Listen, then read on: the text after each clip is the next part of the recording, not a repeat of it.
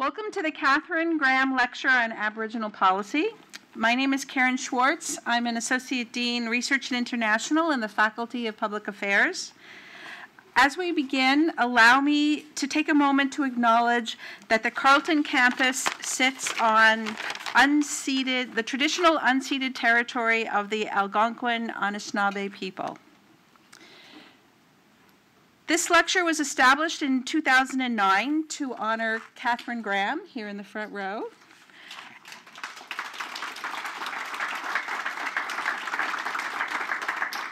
and her deep commitment to the sustainability of Aboriginal communities through public policy and citizen engagement. This is something she emphasized as the Dean of the Faculty of Public Affairs, which she served as from 2003 to 2009. This lecture provides a vehicle for examining a wide range of policy issues, cases, models, and tools related to First Nations, Métis, and Inuit communities across Canada. And we're very lucky that this coincides with CUIERIP, and so that all the people from CUIERIP can take place, can take part in this lecture as well.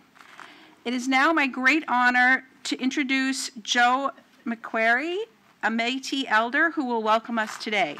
I'd like to invite Joe up on the stage.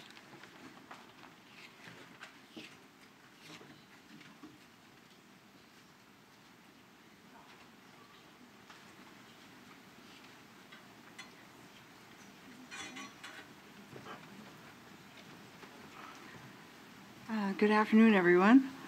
I um, like to welcome you here, and also uh, I'm honored to be able to say the opening prayer for this session.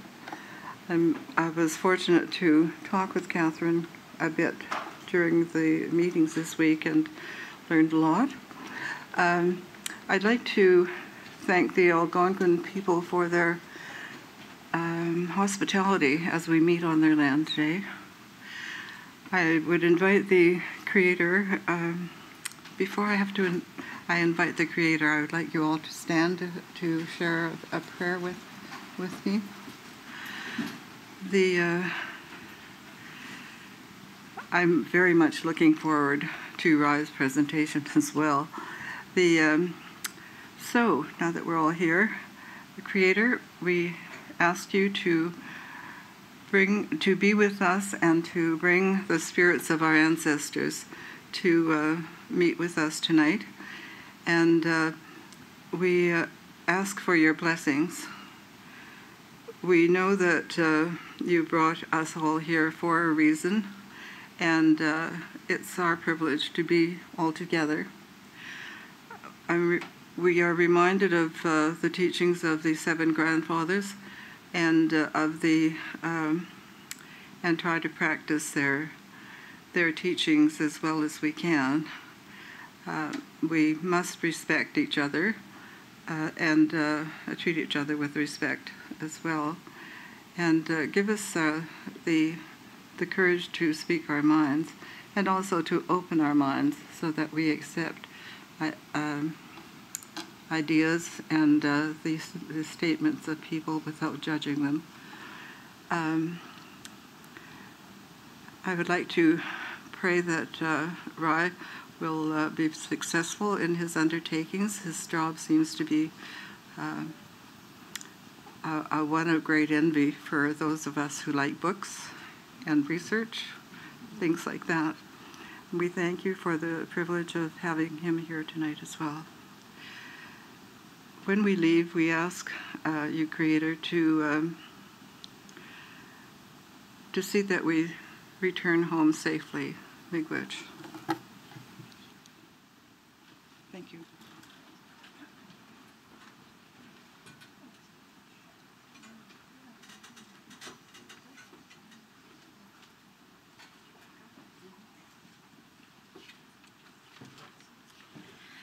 I'd now like to invite Heather Dorries to the stage, who's going to introduce our speaker.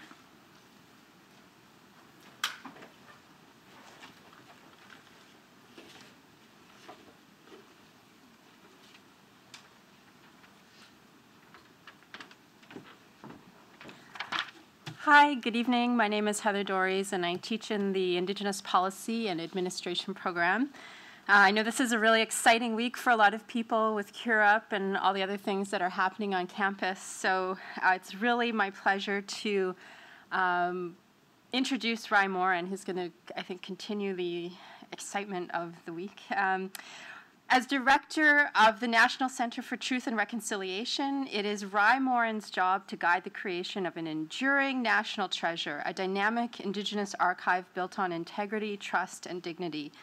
Ry came to the center directly from the Truth and Reconciliation Commission of Canada, where he facilitated the gathering of nearly 7,000 video, audio recorded statements of former residential school students and others affected by the residential school system.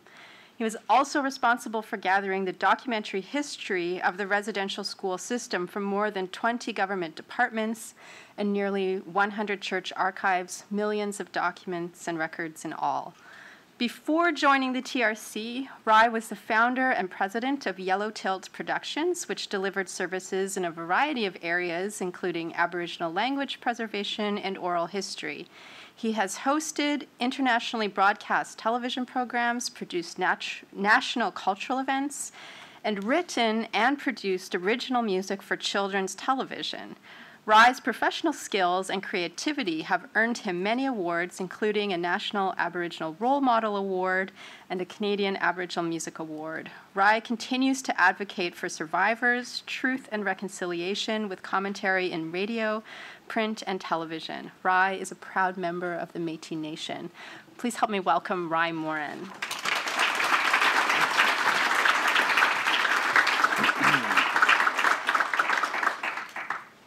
Forgot to put this thing on before I got on stage here, so I'm going to wire myself up here. Well, thank you for that uh, wonderful introduction. And uh, my goal in life is actually to have about a one line bio, so I'm not quite there yet, but that's my goal. Uh, Elder, thank you so much for your beautiful words and your beautiful prayer and your prayers for me as well. Uh, sometimes I feel like I need them, so it's very appreciated. Yeah. Um, so we're going to be talking about uh, something pretty serious tonight, I guess. Rights and responsibilities in an era of reconciliation.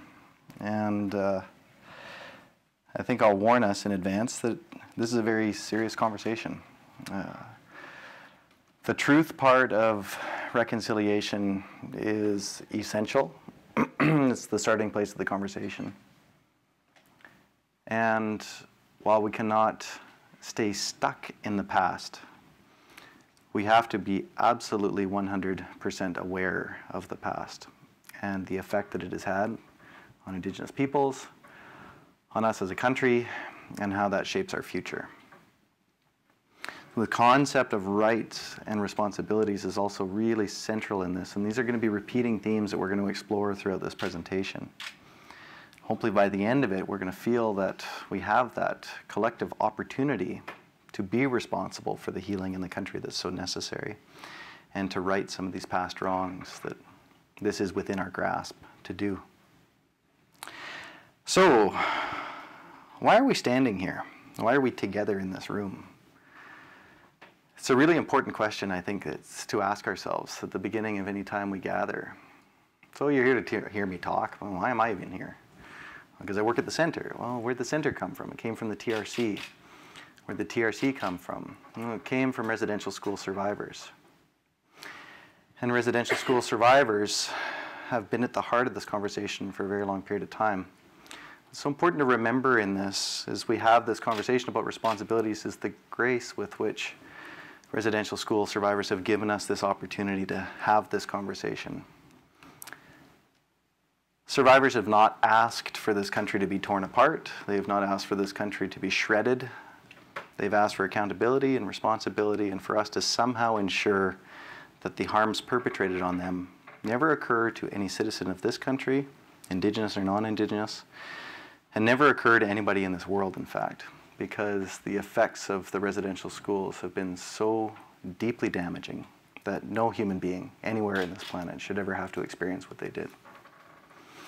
So the Truth and Reconciliation Commission embodied this in those seven grandfather teachings that we heard our elders speak about. And that's that logo that you see there. And that first flame that we lit, the first fire that we lit out in Winnipeg in 2010, we're just a little shy of the first the seven-year anniversary of the TRC's first national event It was that fire of respect. Because we believed at that time, and still believe this, that in order to have this conversation of truth, it all starts with respect. And that's the path to healing. So we've taken these fires and we've put these fires at the middle of the center. And this is this fire that burns. We've lit seven fires across the country, and now there's this fire that burns at the heart of the NCTR. I'm not going to explain the whole logo to you, but I do want to draw, draw your attention to two particular points of this. And one is this idea that there's those birds in the middle of it.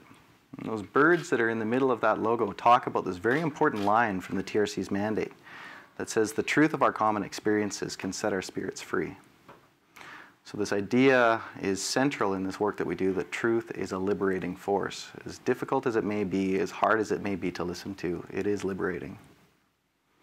And that third flame there, that small one there, that's about those children that aren't yet here, those children who haven't yet been born, the ones that we do our work for today to give them a better world.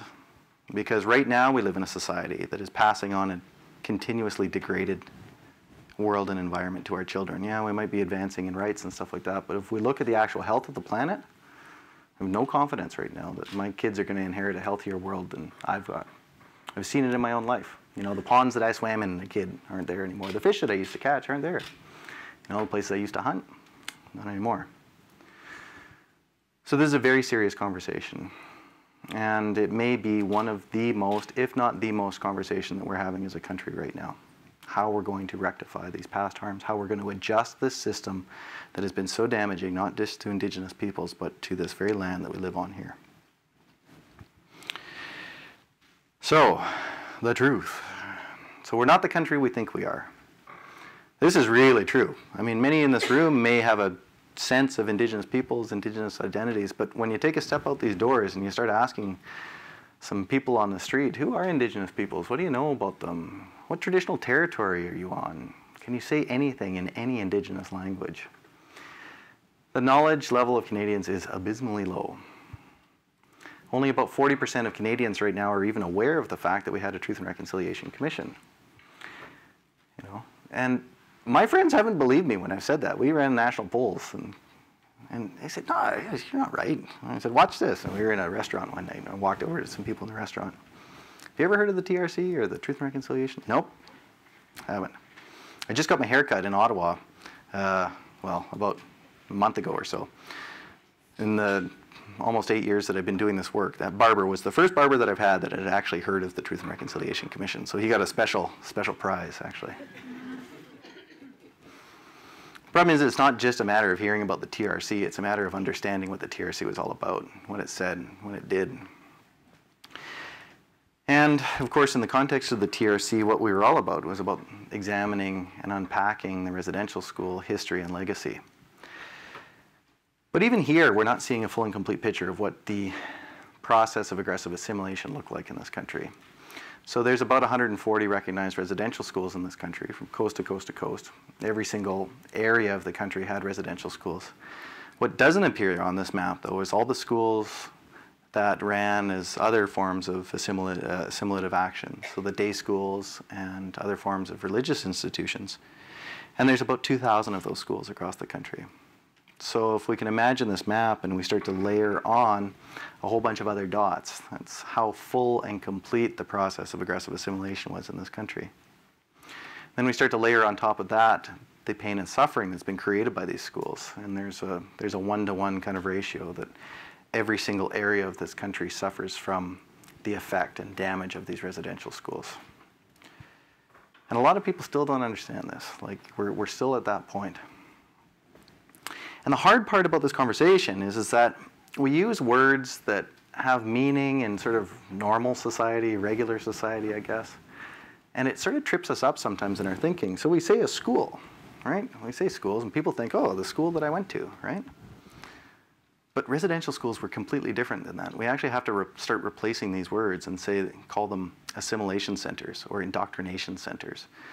That's what the TRC's findings were on this, and that there was very little about education at all, especially in the early period when they were more about indentured labor and farm servitude, where Indigenous peoples were seen as not having the skill or ability to survive in regular society, so they weren't gifted with the ability to learn and thrive like non Indigenous peoples were. And as we look at these school photos, I mean, some of these school photos don't look all that much different than some of the other school photos that existed at the time, but they tell a very different story. And they tell this kind of story about kids running away. So this is from this school up in Fraser Lake. And the TRC has documented about, conclusively documented, over 3,000 kids that died in the residential schools, but we know that the actual real numbers is much higher than that.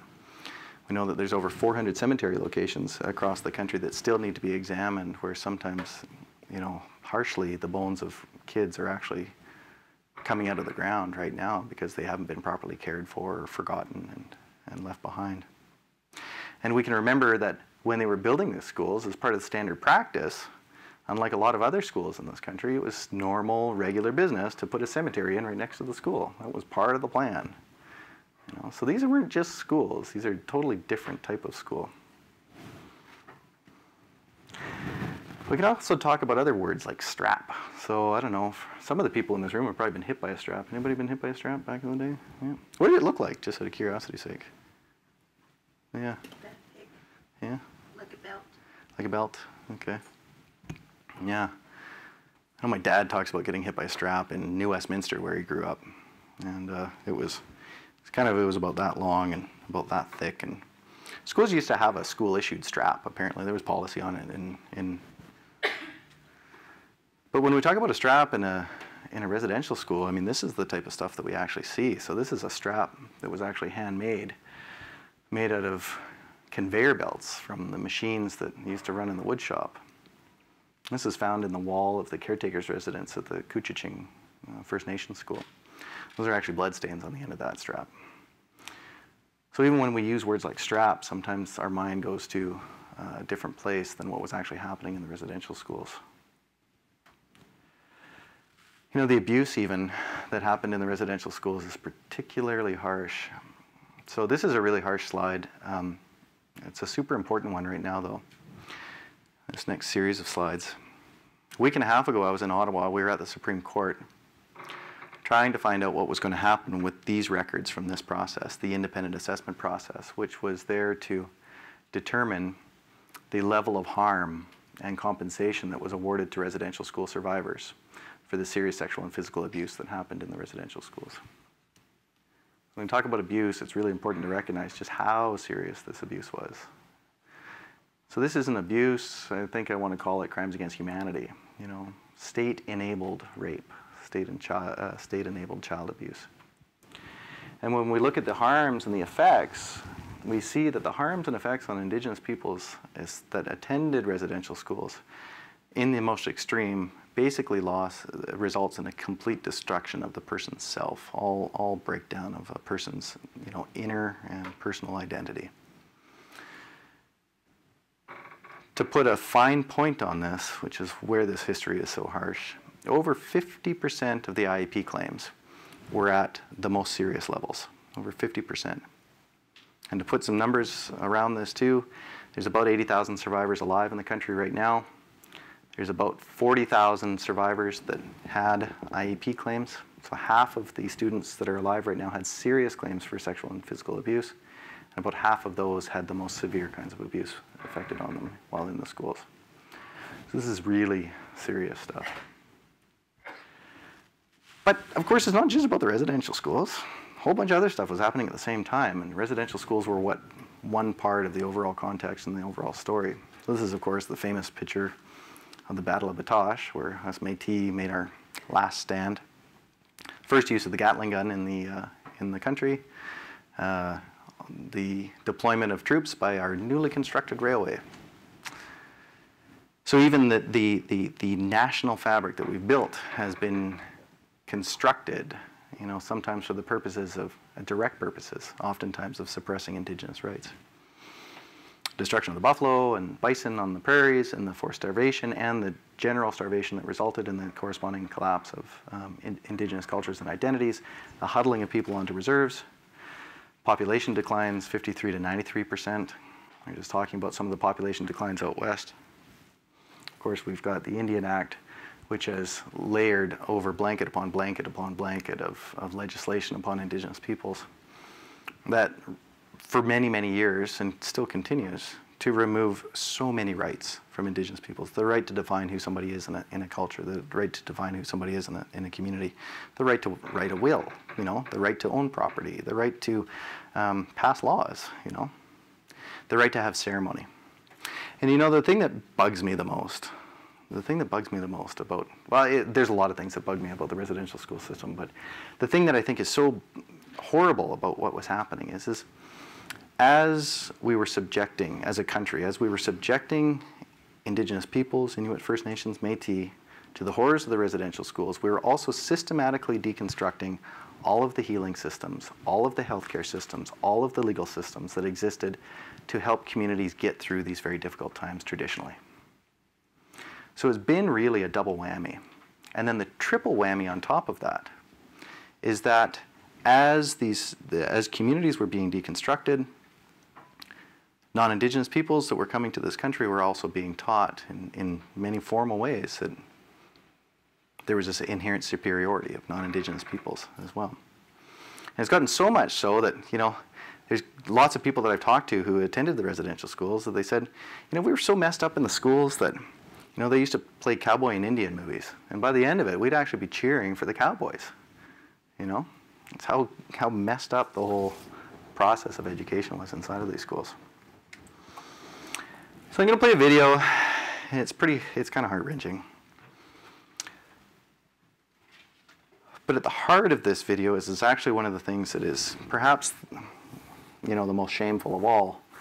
And it's that attack on that relationship between the parent and the child.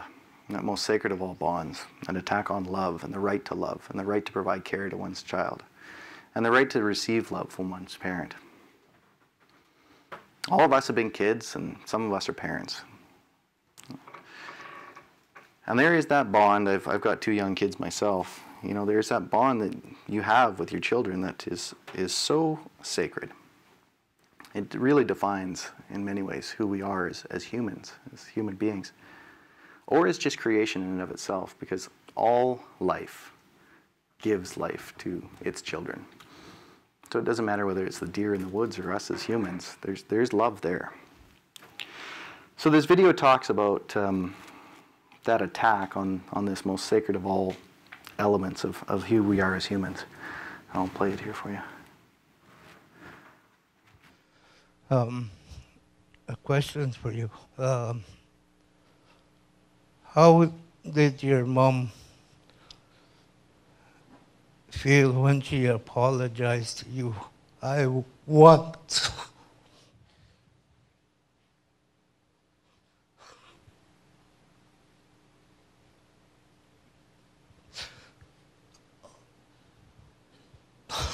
before anything happened to me, I want to apologize to my family for what I put them through. Uh, I could, I could tell my grandchildren, I could tell my great grandchildren that I love them.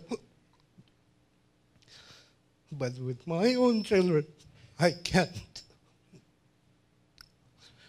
I'll tell you one time I was at a meeting with the Youth Justice Committee, and the facilitator went all around the room telling us, Could you tell me what love means to you? Then, when it came to my turn, I told him, I can't answer. I can't. She says, Why?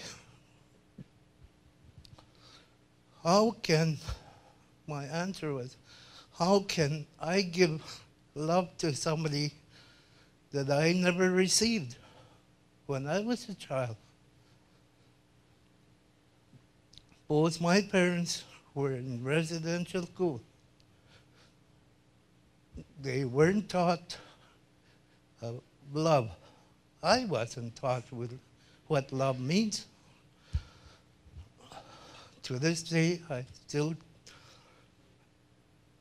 I got a, my own expression of what love means now. But years when I started my own family, I couldn't tell them I loved them. I didn't know what it means.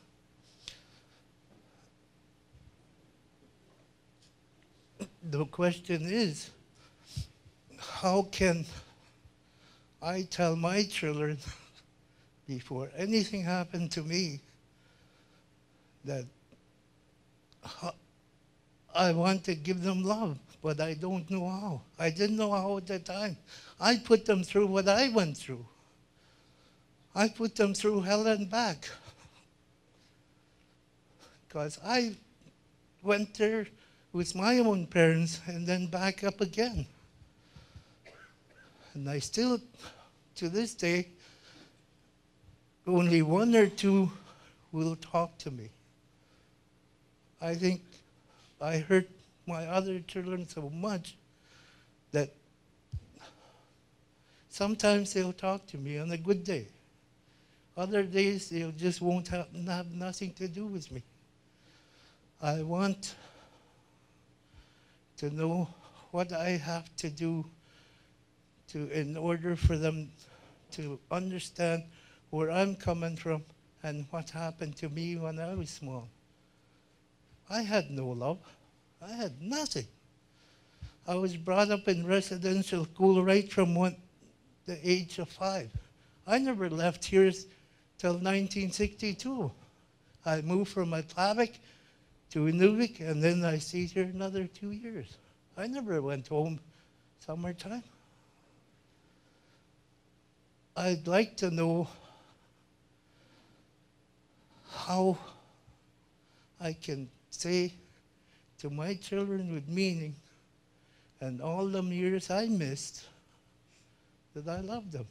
I didn't, it wasn't me that put them through what they did, what I did. It hurts. It hurts me to think about what I missed.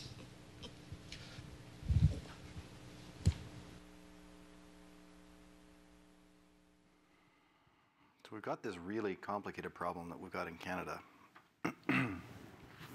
we've got this history that we're coming to terms with. The intentional, long term, policy driven destruction of Indigenous peoples and Indigenous cultures. And the harm that that has resulted in, of course, is felt right within communities and within families to this day. So, as we're having this conversation about reconciliation, we have to recognize that it means different things to different peoples in different contexts. One of the fundamental things about conversation around abuse, which is what this is, is that the abused, uh, the person receiving the abuse, is in a position where they are having something taken from them. It doesn't matter what form of abuse it is. But something is being taken. There's being there's violence being inflicted upon the abused. And you know, one of my friends, uh, a survivor, asked me one day. He said, "You know, Ry, you know, I'm 67 years old, and I still can't figure out what it is that I've done wrong." Right? It's a really fundamental question that we've got in this country. What is it that Indigenous peoples have done wrong? And how are we going to heal out of this? What needs to change? Right? So, there must be a change in perspective. There must be a change in perspective about the way in which we view Aboriginal peoples. We cannot perpetuate the paternalistic concept that only Aboriginal peoples are in need of healing. The perpetrators are wounded and marked by history in ways that are different. Both groups require healing. How can a conversation about reconciliation take place if all involved do not adopt an attitude of humility and respect? So, reconciliation does not mean keeping the status quo, it means some things that got to go. So, what has to go? Well, I think one way to enter into this conversation around reconciliation, the opportunity that we have as a country, we look at this this definition that the TRC has provided us, and something that runs very close to what the Royal Commission on Aboriginal Peoples provided us as well. This is this is old knowledge. That there's a way of being in relationship with other people, other plants, other species on this planet that starts with respect. And you'll note here, and sometimes people get all cranky about the word reconciliation. They say, well, there's no, how can we talk about reconciliation when there hasn't been conciliation? Well, this really talks about it. We're talking about the establishment of mutually respectful relationships that recognizes that we don't really know what that looks like in this country yet. It's not necessarily in our, in our societal DNA so far. Yes, there's been examples of it. Maybe me as a Métis person, I'm, a, I'm an example of some sort of conciliation that happened. But we're talking about the establishment and maintenance of mutually respectful relationships. So this is a new path that we're on, and this is a path that people have been asking for for a really long period of time. I think one of the things, one of the ways that we have to unpack this opportunity that we have is we remember again why we're all in this room together. Okay? So we go back, and 10,000 years ago, a bunch of us wouldn't be in this room right? Who would be here? Indigenous peoples, right? Go back 500 years ago, a bunch of us wouldn't be in this room. Who would be here? Indigenous peoples, right? So why are we here? Why are we here right now? Okay? Why we're here right now is, is we collectively as a society believed that Canada was going to be a better place to raise our kids, perhaps, than what it was like back home believe that life was going to be better somehow in the new world than what it was back home, wherever that world may be. That might be China, that might be India, might be Scotland. But there was the idea that coming to this place would provide us with a better economic life, a better safe life, just a better life in general. And in most regards, that's been true for the mass, mass majority of, of the population. But the question is, is where are the safe places for indigenous peoples in this? And what has the big exchange been? Right? So where are the safe places for indigenous peoples now? And I think we really have to ask ourselves that question as a society. Right? So people have asked me before, they said, you know, look, right, like, why can't they get over it? Right? Why can't they get over it? Like, you know, got all these people came from all over all over the world and they came here and you know they got over it. You know, it's, you know, they fled. It was good. But where do you flee when you're an Anishinaabe person living in Anishinaabe territory? Right? Where do you flee when you're a Haida person living in Haida territory? So, do you go to the city? So let's say you go to Winnipeg, right? Ah, a little rough there. Most racist city in Canada. Ooh, right? You go back to your community. Well, communities aren't really good right now. Boil water advisories, lots of violence, lots of lateral violence substandard infrastructure, substandard housing, right? Do you leave your country, right? Where are you going to go? There is no safe place for Indigenous peoples as of yet in this country, truly. We're getting there. We're starting to create little bubbles of safety. But this idea of, of cultural safety that runs throughout many of these TRC's calls to action is all about recognizing that this country that we live in remains extremely dangerous for Indigenous peoples. And that's why we have a missing and murdered Indigenous women's inquiry right now, because we're talking about layers of discrimination in this country. Women face a different life than us guys do, and Indigenous women face a particularly difficult life in this country. Far higher rates of violence, far higher rates of, of uh, being killed. So this remains a very dangerous place. It remains a place where indigenous languages are not safe. We're losing our indigenous languages rapidly. You know, they are dying right now. And it has been the intent and policy of this country for a very long period of time to kill those things as well. So the opportunity is, is to create safety, and create safety that we've all collectively enjoyed in this society generally. And it's not perfect yet, by any means but to afford the safety that many of us have experienced, even my own Scottish ancestors on my mom's side of the family have experienced, but have not been afforded to the original inhabitants of this land. And that's where, in the TRC's calls to action, the calls to action are lobbed broadly at all sectors of society, and they're specifically lobbed at individuals first, because this is where we have that individual collective responsibility to start to create these safe places. And when we look at how this all unfolds and how this all unpacks, it's at once both an individual, it's an organizational, and it's a national level responsibility for reconciliation. So we've all got this task. It's been called upon uh, us by the TRC to try and take that cold, hard, long look in the mirror and say, what am I carrying around? How have I been educated? And what are the ideas that I'm, I'm packing with me?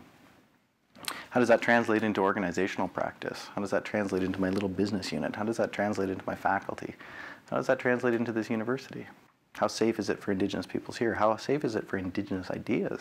You know, these are all really important questions. And then that extends, of course, onto the national level as well. What we see in the TRC's calls to action as well is, is that there's two big chunks of those TRC, the calls to action. One really addresses the harms. That's the first half. And the other one is meant to set us up for a better future. I think it's really important to caution us as we have this conversation about addressing the harms that we don't rush to calling something reconciliation that's actually just basic equality as well. So, Indigenous peoples should not be faced with life expectancies that are less than non Indigenous peoples. Why is that? Uh, indigenous students should not be worth less in the education system as they are than non Indigenous kids, right? But they are. And let's not get this confused with reconciliation. That's equality. And equality is the starting point of this conversation. So if we can get to equality, then we can start having a conversation about actual, real healing and real reconciliation. Because we continue to live in a society that's actually quite equal. The other big piece with this as well, though, is, is that we've sort of been through this before, once or twice or 10 times with commissions and reports and other stuff. And the opportunity here now, here with this particular TRC, is to collectively hold ourselves to account and to collectively hold ourselves to hold our feet to the fire.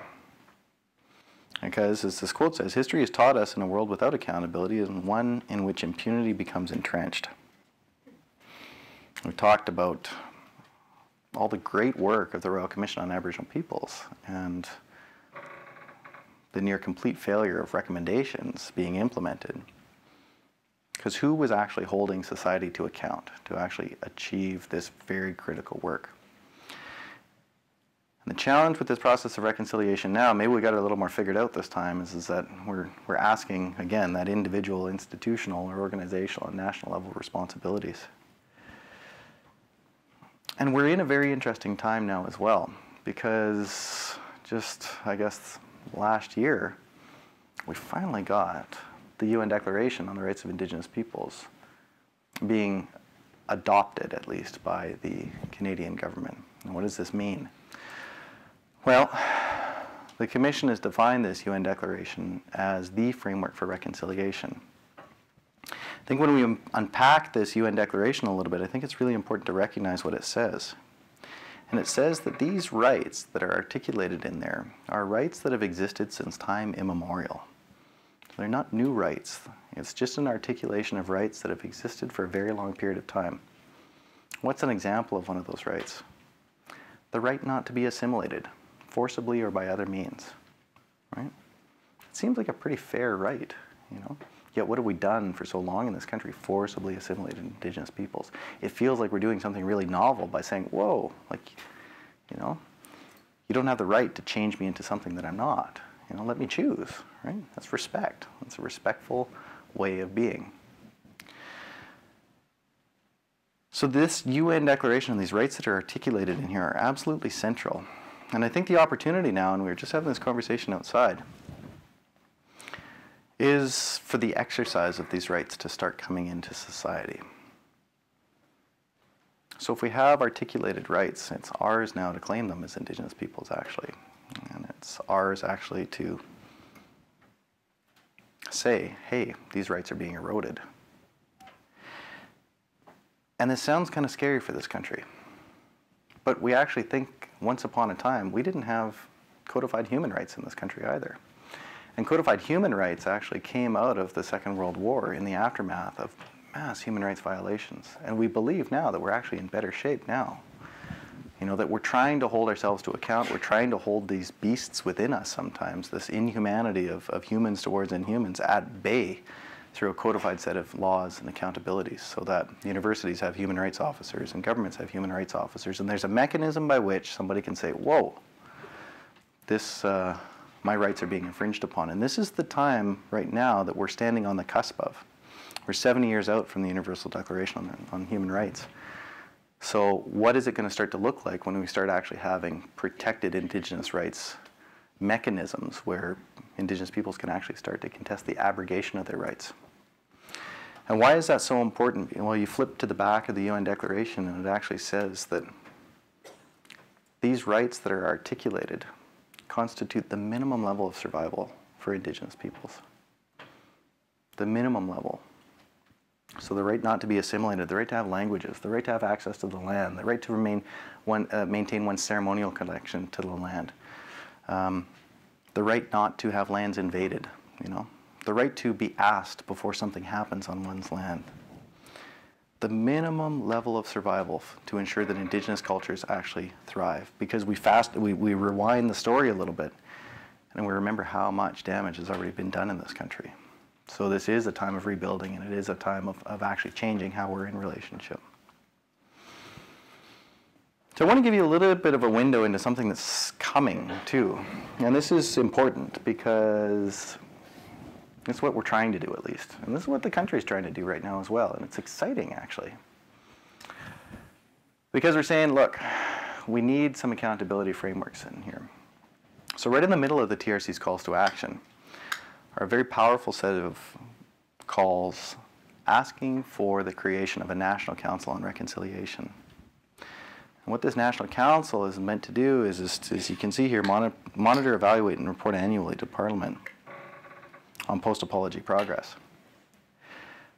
Now what's central in this is that there's a lot of people sometimes that, that have have criticisms of this whole reconciliation process that we're going through and saying, ah, it's all just about getting along nicer, isn't it? Isn't it about feelings? You know? And it is some of that, for sure. But it's also about addressing the very real inequalities that continue to exist in this society. So this National Council is all about actual overall responsibilities for addressing those gaps and rectifying those gaps because those gaps are those barriers to realizing actually who we are as a country, realizing who we are as indigenous peoples, and actually starting to meaningfully, meaningfully take the steps necessary in order to change these past actions that we've had in this country. So the good news in all of this is that, in the words of, of Senator Murray Sinclair, you can't change the past. You can't change the past. But you can change two things about it. Your level of understanding and how you, how, how you understand it and what you're going to do about it, basically. So the past has happened in this country. There is no going backwards. But the future does remain as yet unwritten. And broadly across the country right now, what is exciting is we are seeing people rallied to the TRC's calls to action, I think in a way that we haven't seen in other levels, uh, in, uh, in the aftermath of other uh, commissions uh, or inquiries. But the opportunity here that we've got is to focus not just on the feelings of the relationship, but the actual structure of the relationship. And ask ourselves, are we structurally in the right relationship yet? do we have the right structures in place to allow this relationship to flourish? And that's where these UN declarations and these rights and these responsibilities that we collectively had to create these structures is so central in this. It's so central in this. So I'm going to play one more video here. And this is also from TRC activities and, and events. And I think the video really speaks about the future. And it, it speaks about this opportunity that we've got to create something that we haven't yet seen in this country. I think the opportunity that we've got is to create something that might actually dazzle us all, to actually start to realize knowledges and systems that have been here since time immemorial that we've actually never even begun to really meaningfully explore in terms of what that means for society or where they've permeated society. We've taken them for granted. So let's uh, watch this video and then uh, we'll come back for a couple more slides and then some questions. Our failures fill us with deep regret. But as we know, regret and apology is not enough. The test of that regret and that apology, we know, will be our actions in the days ahead. We are in the midst of a long and painful journey as we reflect on the cries that we did not or would not hear and how we have behaved as a church. We travel this difficult road of repentance, reconciliation, and healing. We commit ourselves to work towards ensuring that we will never again use our power as a church to hurt others with attitudes of racial and spiritual superiority. The Commission Chair, the eloquent Mr. Justice Sinclair, borrows a phrase that was used by the leaders of the American Civil Rights Movement. That phrase is, keep your eye on the prize. That sets a challenge for all of us, Indigenous and non-Indigenous, commissioners and citizens. The Truth and Reconciliation Commission will help define the prize. We as Canadians, as citizens, have to mobilize the eyes and help the larger Canadian population both see and act. Reconciliation in this context means coming together as a whole, with one purpose being to hear and to heal, and then a critical common purpose, which is to move forward together. And if we fail to do that, if we fail to go beyond apology and regret, if we admit the truth and ignore the reconciliation, that would be to repeat the profound offenses of the residential schools themselves. I believe that Canada, as a broad and generous country, could find the will to repair the damage of that past and build new partnerships if enough of our citizens know and if their eyes are turned to the prize.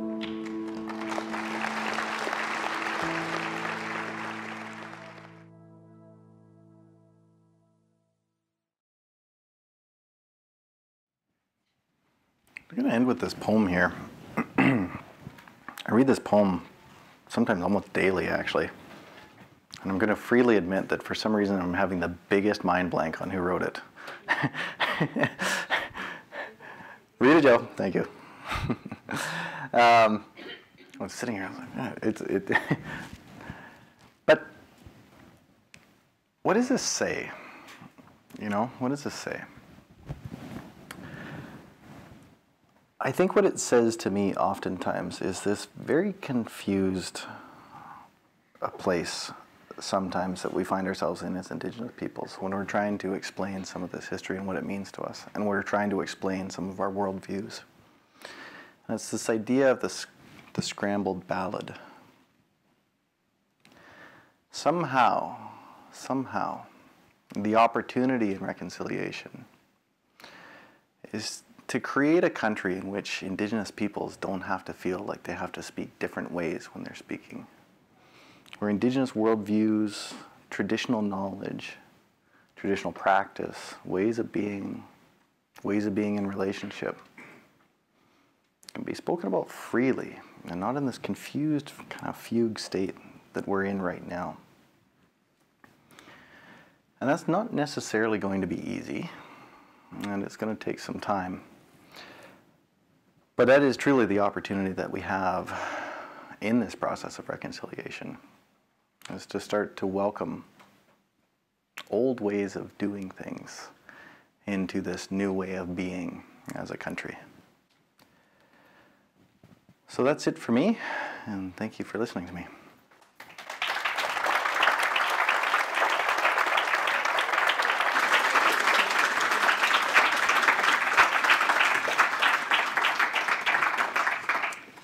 Thank you very much. Um, I think that uh, the path to 100% awareness of the past and the effects on Indigenous people is going to take us a while, and it's going to be a journey. And um, hopefully, we've started on that path in some ways today.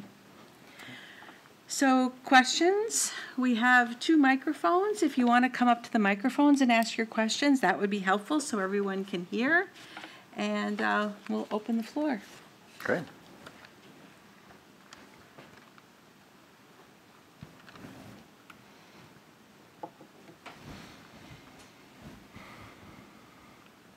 Hello.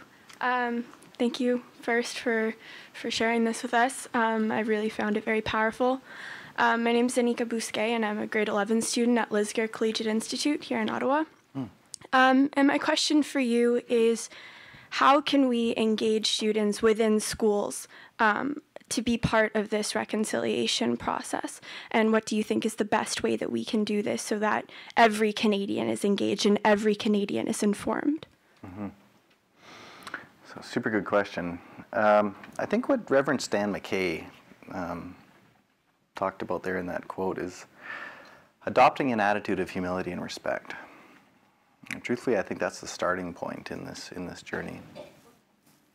And I think learning how to listen is is essential in that. And what does that mean in terms of engagement? Well, I think it means recognizing that we don't have all the answers and that we got to get a lot more information before before we start coming up with answers. So helping people find good resources is really good, and good authentic resources right now, written by Indigenous peoples or by Indigenous organizations, I think is really essential. I think we're really gifted right now in terms of where we are as a society by a lot of really amazing Indigenous voices being out there. You know, so be it from listening to Tribe Called Red, to Richard Wagamese, or you know, um, reading the TRC's reports, even although they can be a little dry. Um, it's really an important starting place, and then I think what's what's important too is is maybe looking for the questions and not necessarily for the answers as well, because uh, this is really complicated stuff, and, and it takes a while to unpack this, uh, unpack this history. Good thing as well is that you know you even look at what's happening at this university. There's some amazing Indigenous peoples at places like this now, and it's not as hard to find great Indigenous peoples um, anymore. And a lot of schools have got programs to, to bring you know elders and that kind of thing into the class. But there's that obligation, I think, too, is, is that while Indigenous peoples can be the teachers, there's that obligation to kind of start to meet us halfway or to, to start to do some of that foundational work as well. So that's where dialogue and, and engaging and watching films and there's like there's such amazing films. I mean, and be it on residential schools or be it on a host of uh, other areas, um, there's just a lot of good stuff out there. So that, that's probably what I'd recommend. Yeah. Thank you. Yeah. Other questions? You want to come up, come up to the microphone, please?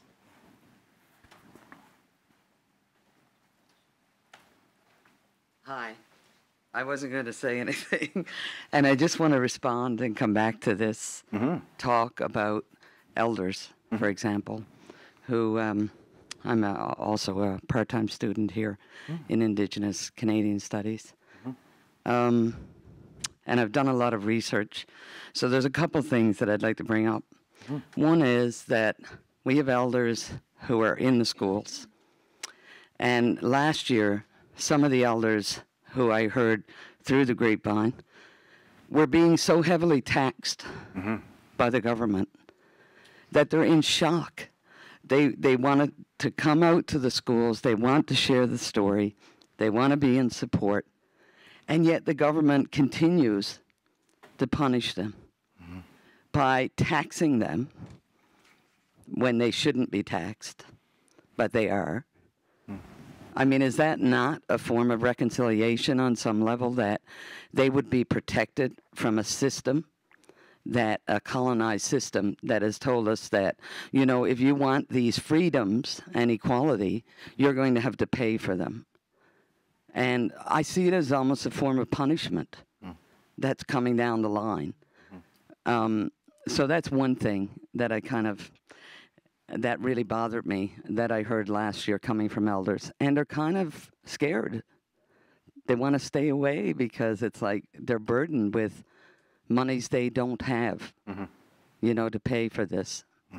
That's one thing. The other thing that I want to speak about is, um, sorry, I think it was Mulroney who, uh, am I incorrect? I'm not sure. Uh, who spoke about, you know, uh, the failure of truth and reconciliation. This country has already experienced a failure uh, in a, on a big scale. Most of my research has been around the uh, First Nations in Newfoundland and Labrador, the Beothuks. And um, the genocide that has gone on, and, and I also want to recognize the neutrals, and I realize there are others in this country who've been wiped out and erased. And uh, my research is about how has that impacted Newfoundlanders and Labradorians. I'm from Newfoundland. Um, my ancestry is non-status Mi'kmaq. Um, and again, I don't want to carry on too long, but the Qalipu Band that was initiated in Newfoundland 10 years ago, uh, and Harper went and shook hands in Newfoundland with the chief. And he thought, oh, you know, maybe there'll be 5,000 of them. I mean, it's not going to be a big deal. And within one year, there was over 130,000 of us that applied for status. 70,000, if not more, are sitting in a drawer. And we were de- all denied anything to do with um, status. There's something majorly wrong um, in some ways, in that we're talking about truth and reconciliation, and there's some major components that have not been truly um, dug up. And and I know almost any Mi'kmaq I speak to will know about the Beothuks. I don't have to say anything. They know it because they were blamed for murdering the Beothuks, and it was written in the in the British. And I'm going on, but what I'm trying to say, I guess, is the impact of a genocide on people, in in particular Newfoundlanders and Labradorians, has been always a curiosity for me. And we've seen the severity of a province that basically, for most of my life, I felt if Newfoundland sank, nobody would care. And fortunately, we were built on a big rock. so they couldn't get rid of us. So thank you for listening. Thank you. Thanks, yeah. I'll just respond really quickly. I mean, you know, uh, be it taxation or be it burden placed on Indigenous peoples um, uh, in different forms, just as a caution, I think, um, and I don't know if anybody in the room is experiencing this, but uh, I know when I talk to a lot of my friends, uh, there is a there can be a type of fatigue that sets in in terms of some of these conversations and stuff, and um, it's where we talk about with this learning with humility and respect. Um, is really important uh, because sometimes I think what ends up happening is we end up having to teach on the defensive kind of thing and advance our rights and or advance our ideas or worldviews on the defensive. And you know, I think the opportunity is is, or you know, as another point is, uh, you know, some of my friends say, "Oh, look, I'm, you know, this big organization. There's 300 people, and you know, I'm the only Indigenous person. I get asked every single question about every single Indigenous thing going. Plus, I got all my job to do. Plus, I have all my community work. Plus, all this sort of stuff. It's really tiring. It's really tiring. So that opportunity now is, is that you know, kind of meet us halfway kind of opportunity. There's great books out there. There's lots of material. You know, the TRC question, uh, the TRC reports, and and that's so important in this whole conversation because be it elders, be it um, be it even staff in in, in institutions, organizations, it, it's it's fatiguing actually because it's especially I mean especially because we talk about that safety and stuff like that. It's not like uh, you've got a necessarily a safe place to escape to. I mean, you know, lots of my friends, you know, they go into the, the drug store, the, the grocery store in Winnipeg, you know, security follows them around and stuff like that. And, I had a friend who had to stop running uh, because every time he'd go for a jog in the morning with his hoodie on because it was cold, he would get stopped by the cops. So he had to stop running. Like he said, God, I, like I'm a healthy guy. I want to I want to run, but uh, he couldn't do it because every time he was getting harassed. You know.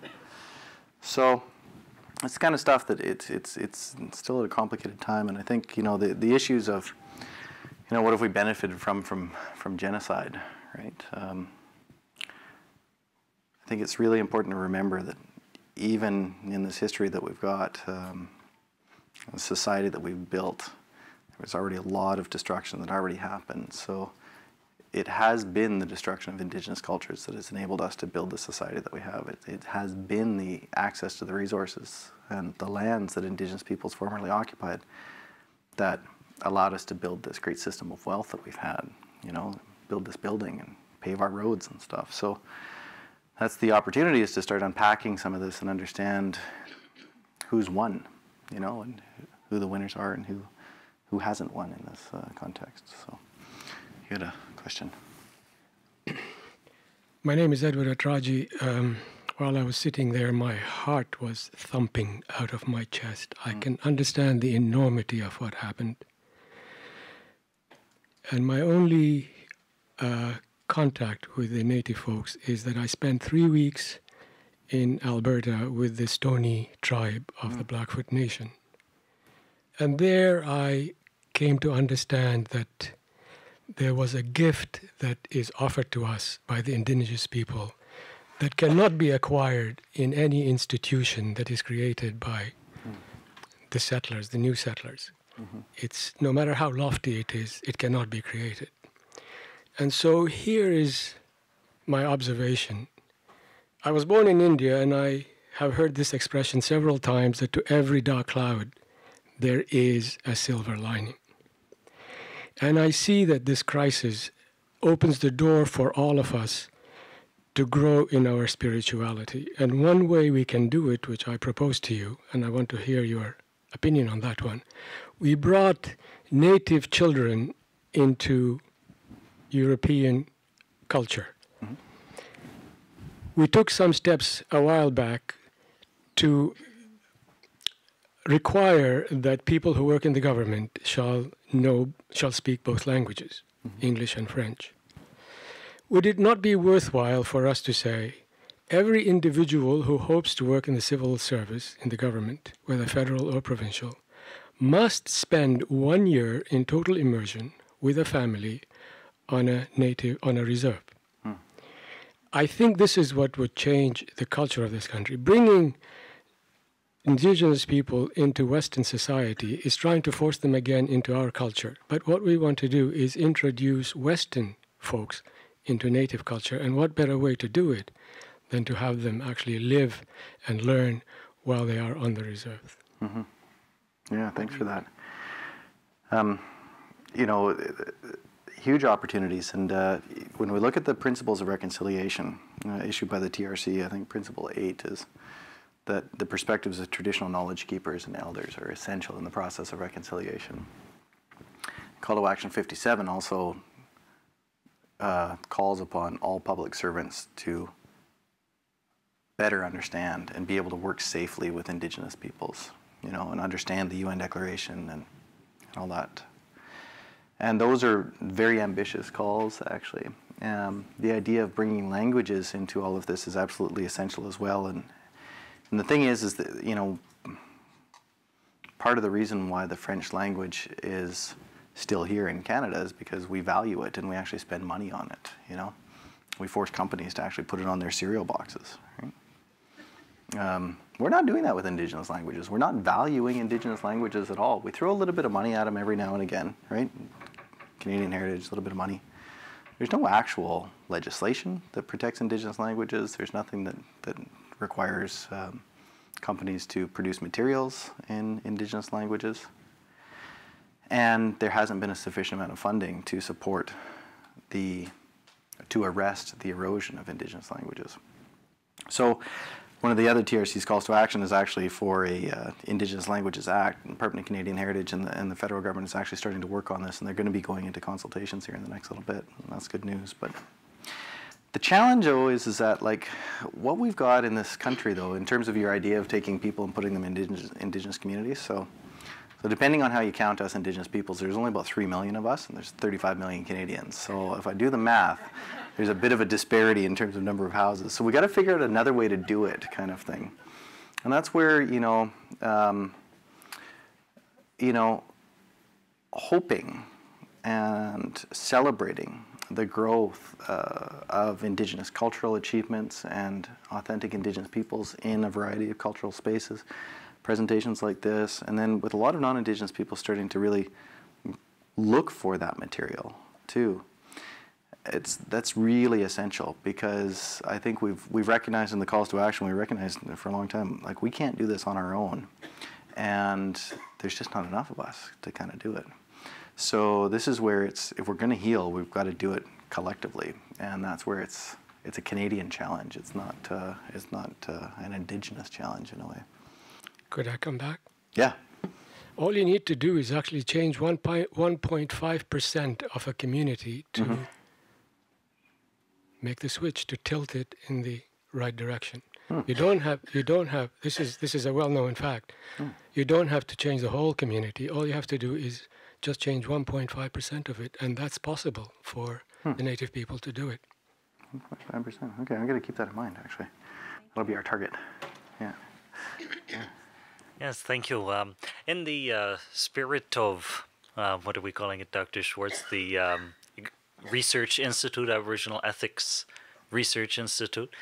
Um, University Institute on the Ethics of Research with Indigenous People. Oh, there holy. go. that sounds fancy. Yeah. Um, what is um, your opinion and, and uh, uh, any advice that you have on managing to keep the plurality of Indigenous peoples in Canada or in regards uh, when approaching, both in academia, when approaching research, and uh, both with the government when going to the negotiating table and drafting these different agreements?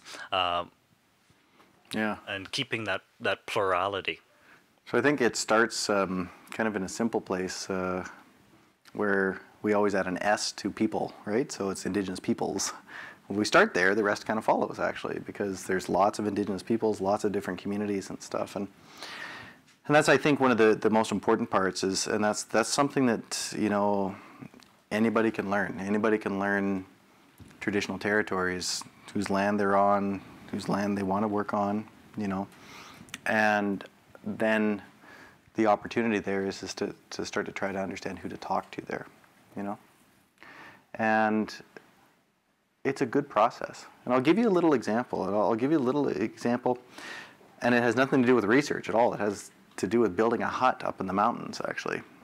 But uh, a really good friend, uh, he's a mountain climbing uh, guy. And uh, he wanted to build a hut up on this peak, uh, kind of in the middle of Vancouver Island, and there, there wasn't any huts up there. But he knows that times are changing and that you can't just walk into the woods anymore and put a hut up. And this was going to be an Alpine Club of Canada hut. So there's 13 communities all around that hut. And he sat down and he met with each one of them. You know, took a long time. It took a better part of two and a half years because some, some of the communities it was kind of difficult to get a hold of and required a lot of trust building and relationship and dialogue. But coming out of this hasn't only been a whole bunch of community support for this hut, where there's this collective sense of ownership, but there's also been this whole process of rediscovery about the old times when young kids used to get sent up in the mountains to do their kind of their spirit work and that sort of thing. And actually a number of the ceremonial sites that are still up around this hut. And how this hut has actually become a process, an opportunity for reconciliation amongst all these kids. And what it was, it was actually residential schools that interrupted those kids going up into the mountains there. So it's, I guess the moral of the story there is, is that, you know, you can, you can take the example of writing a paper or building a hut, and uh, the opportunity is to build relationships and to build meaningful, lasting relationships and to establish those relationships. And I think as we establish those relationships, we start to learn, like our friend had, uh, you know, the experience of three weeks in a community. We start to realize that there's this untapped richness that we've got in this in this country that's kind of just waiting to to be felt. And uh, it's just a matter of, of doing that with research, doing that with huts. You know? yeah.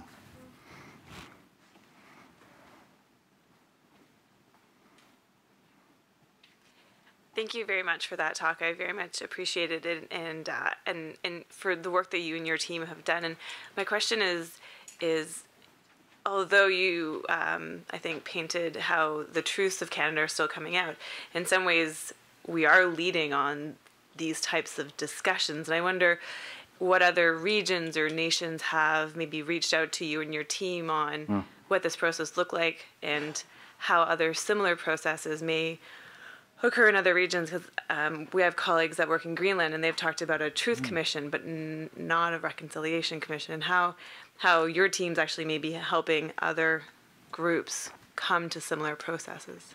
Yeah, it's a really good question. So I'll talk about a couple different examples. I'll talk about something happening here in the Americas and then I'll talk about something that's happening down in Africa. So we had a delegation that came up um, from uh, Cote d'Ivoire they had finished a couple of truth commissions down there because um, times have been pretty rough. Uh, and um, they came to us trying to understand the best practices in preserving the record that had been created by the Truth Commission. And uh, we had a, a, really good visit. Um, we shared a lot of information. Uh, it was a UN sponsored delegation at the same time, underlaying that conversation um, is a much more fundamental conversation about um, our opportunity as a country as well to recognize sometimes the very privileged position that we hold in the world. Because, I mean, we had our challenges collecting documents um, during the TRC's mandates, and we had laws that got in our way, and sometimes a little bit of stubbornness and stuff like that. But, but we had documents to collect, right?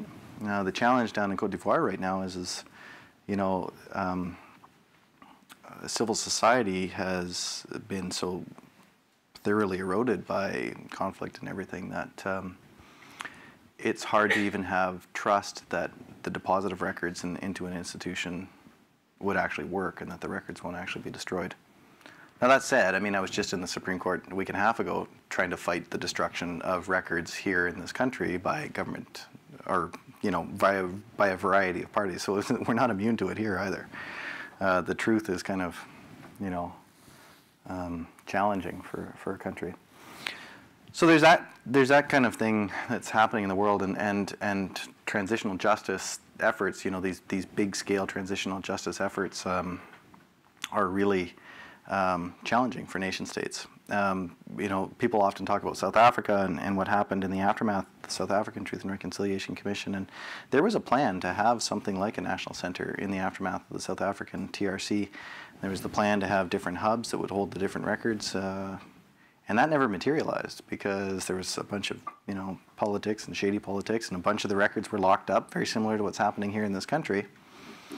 And uh, some of their efforts have been stymied as a result of that. And in conversation with folks down there, they've said, you know, things are even worse in some ways than they have been, than they were at the time of the Truth Commission. On the flip side of things, though, um, you know, I think a, a, conversation that I had with a um, with a diplomat actually, and I'm heading down to Washington next week to have some conversations uh, down there and we had a conversation at the Organization of American States, which is kind of like the UN for the Americas. And I was sort of debriefing with this person, and they said, Yeah, that was such a transformative event that we held because we were talking about human rights, and we were basically up there lambasting Canada, more or less, uh, for our past and our history. But most of the other nation states in the Americas were were flabbergasted that that was actually kind of permissible. Usually, it's always the other way around in these in these domestic in these international contexts, where it's like, wow, we're doing so good and we're we're doing all this great stuff. And to actually have a group come up, sponsored by Canada, you know, plane tickets arranged for that came up and then slandered Canada heavily in front of all the other nations of the Americas um, was actually pretty good. And, and a lot of the other nation states said, wow, like you guys are actually talking about stuff in, a, in a way that's not being talked about in other places in, in the world.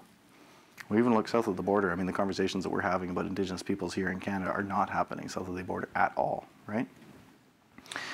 So we're on to something here. Now, we're on to something.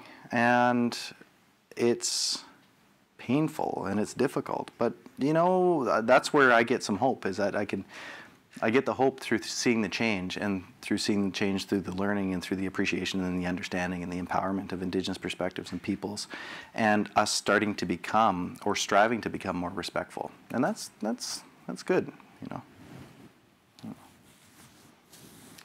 Other questions?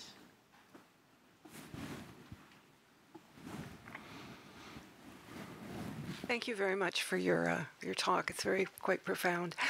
Um, my as I'm sitting here listening, I'm thinking, how do we move from a perspective of deficit on Indigenous people in Canada, highest suicide rates, lowest uh, educational achievement, to an asset perspective, one where you know we are valuing uh, culture, land, like all of the language, all of the, the parts of the, the culture, because too much of what even people who think they know about a, a, a Indigenous culture in Canada seems to me about the deficits Mhm. as opposed to the assets. hmm So, in my opinion, I'm sure there's people in the room that got a lot to say about this. Um, I think A, it starts with becoming much more trauma informed as a society. So that's like step one. So, and that's something that everybody wins from. Um, understanding trauma, the effect on trauma, how that trauma has passed intergenerationally. We all experience trauma in our life in some form or another, you know, and becoming more attuned to how trauma plays out in societies, and and especially in the scale of the trauma that has been inflicted upon Indigenous peoples, should make one more empathetic and more understanding. So that's a first kind of starting place. And then I think one of the other fundamental things too is is, is you're right, um, moving from a, a, an idea of deficit to empowerment. You know, I mean, the biggest thing that a lot of Indigenous communities have been saying forever is, is I mean, we know what our communities need. We just need the cash to do it, kind of thing, right?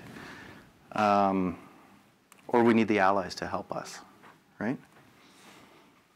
So it's it's starting to recognize that, um, and it, and it and it's and it's a whole bunch of different ways. I mean, it's starting to to recognize elders as PhD holders, mm. right? And recognizing that there's other systems of knowledge that need to be honored and respected. And that's again that humility and respect, kind of, you know, that that's so important in this. We can get to that point, you know, then we'll start to be able to have better conversations because, you know, the deficits-based approach. It's the exact same situation that was happening in residential schools. That there's a problem that needs to be fixed. And the big thing is, is that Canada has not fixed Indigenous peoples, nor will it ever, right? Canada needs to start to move. Canadians need to start moving into that position of allyship, and not, not for us, but with us, right? And uh, that's essential.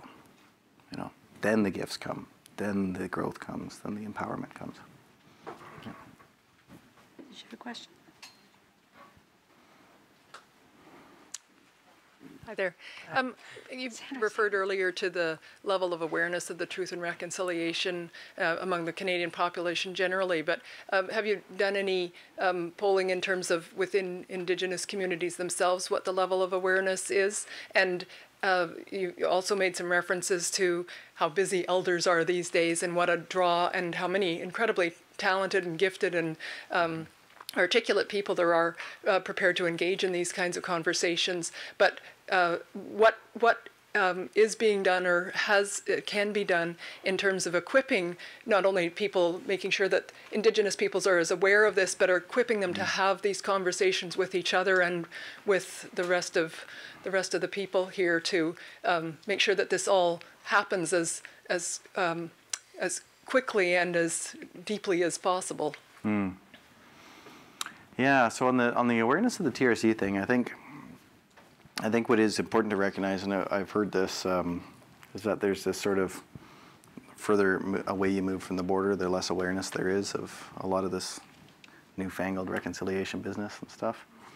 Because um, a very real comment that a lot of people say to me is, is um, how is this doing anything to improve my life today, right? And that's a very real and fair comment. Um, it's super real and super fair.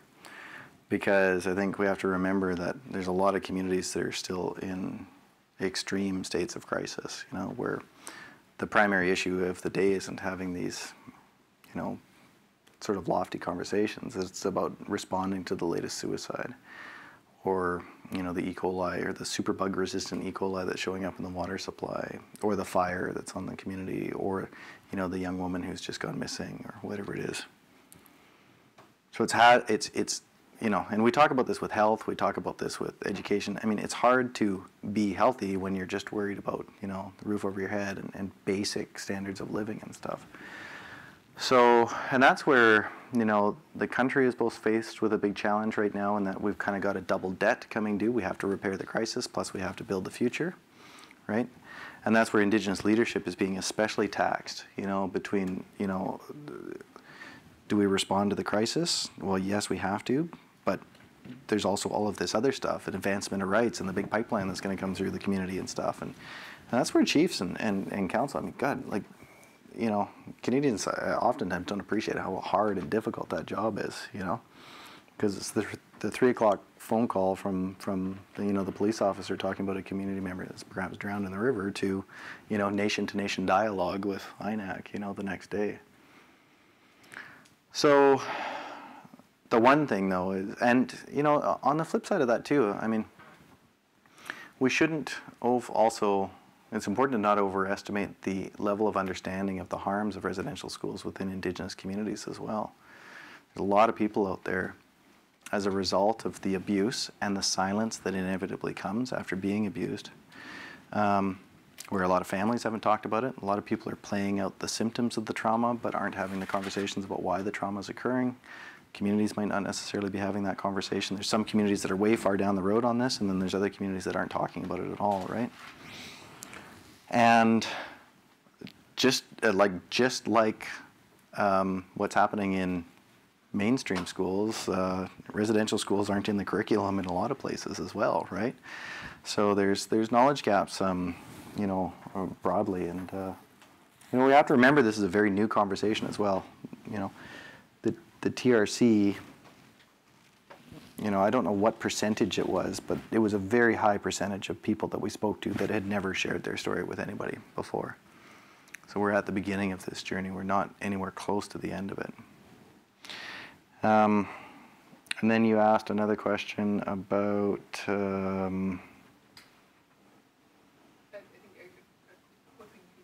ah, equipping people. Yes, that's right. Sorry. Yeah, equipping people. Um,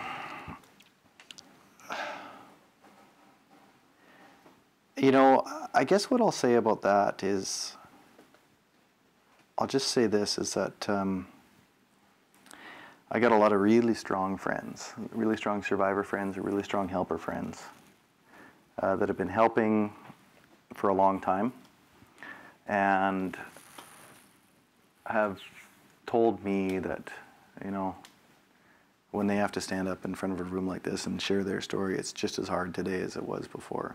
You know, they might be more practiced at it, they might be maybe more polished at it. But in order to do it well, oftentimes they kind of got to go to that difficult spot. And the harm doesn't stop either, too. You know, um, you know, again, I come back to that Supreme Court case. I mean, some of the survivors that were there with me, very dear friends of mine, you know, were sitting in the courtroom crying because of, you know, what people were saying about them, right? And that's where we're in this, we're in this time right now where, um, you know, people are being talked about but not talked to. You know, that's hurtful. That's a form of hurt. Um, people have been asked to perform a lot of healing work, and sometimes, you know, there's there's the cup can only take so much. You know, there's a lot of health supports that I know that uh, you know worked alongside of us in the TRC, and I mean, they're in need of counseling now, right? You know, because um, it's been so tough. At the same time, same time though, they continue to do the work, right? And and they soldier on, and that's the thing is, is it's like, and that's this thing about privilege and stuff like that, right? Is is that like, the challenge is you don't get to flip some of these switches on or off. It's not like you just get to walk away from this conversation. You know, it's like it's, it's happening in the community, it's happening in your home, it's happening in your life, it's happening in your family.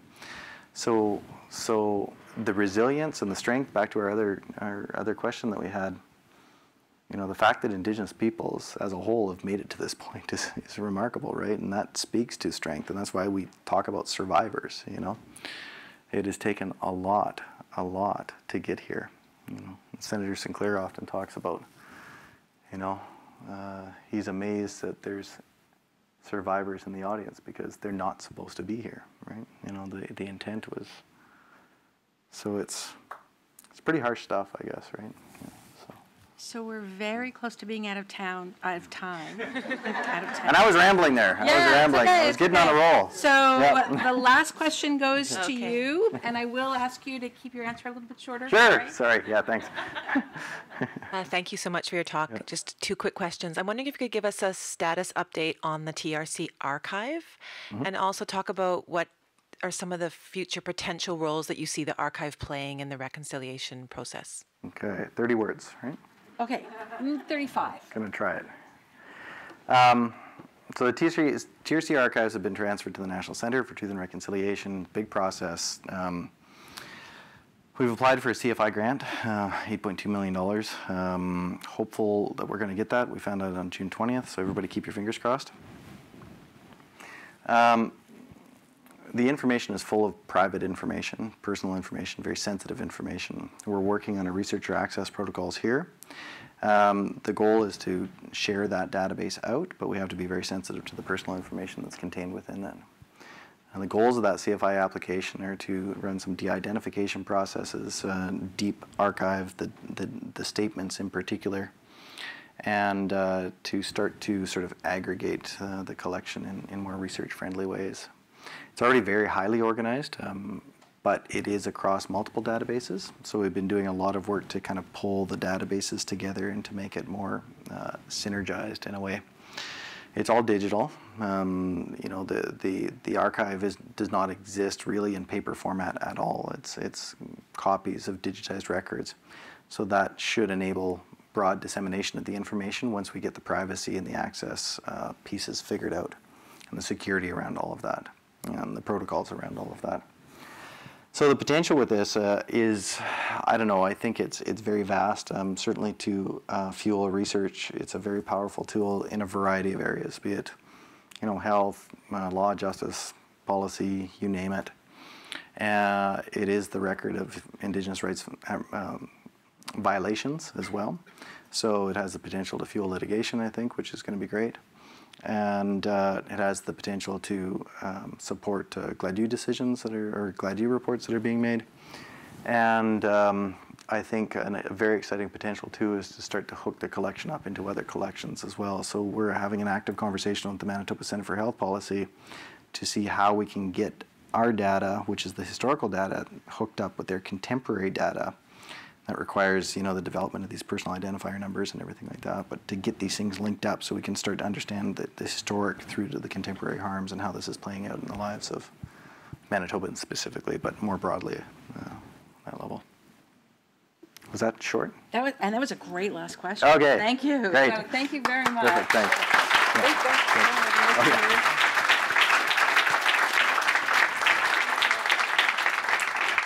thank you. I have a small token of our appreciation, and still don't go anywhere. Laura, I understand you also have a, okay. Thank you.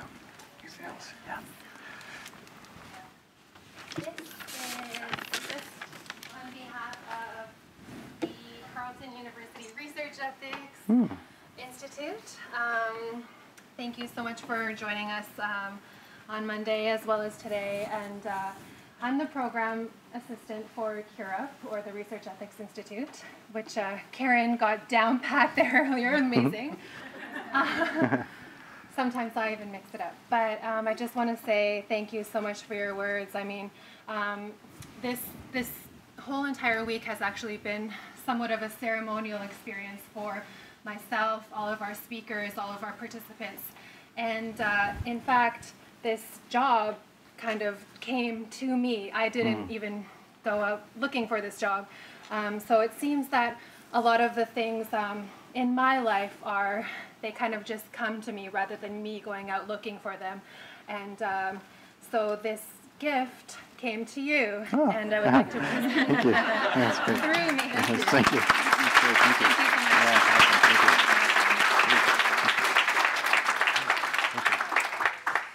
So I just have a few more things I need to say to wrap up. Um, as you know, this year is Carleton's 75th anniversary, and so there have been all kinds of activities going on because of the 75th fifth anniversary. In terms of the Faculty of Public Affairs, we have a currents lecture on September 15th. That'll be our next event. Uh, we will have uh, Greg Ip of the Wall Street Journal coming to speak at that event, so hopefully many of you will come. And if there are other events, you can go on carleton.ca backslash FPA and you can find out about all the events that we hold. And thank you very much for coming and have a very good evening.